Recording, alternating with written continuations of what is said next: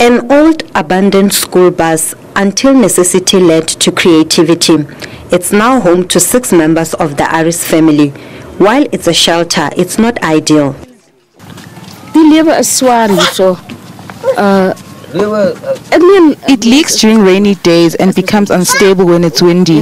Life here is very hard. I am here because I have no income at all and have to make a plan for my children. So I'm now roaming just to survive. Ek het nou nie baie aan goed, ek myself baie nie. The Aris family is among thousands of indigenous San who live here.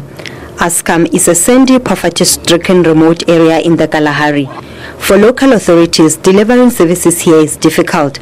Residents are reluctant to move closer to towns as they are deeply attached to their roots and culture. We know that uh, there was challenges of housing. Uh, we know there is challenges of poverty.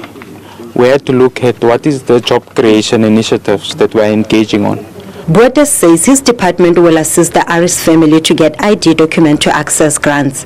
If anyone is willing to assist with donations of clothes and food, please contact SABC's Touching Lives. You can call 011-714-5720 or email touchinglives at sabc.co.za. Motlali Pula Morake, SABC News, Askham in the Kalahari.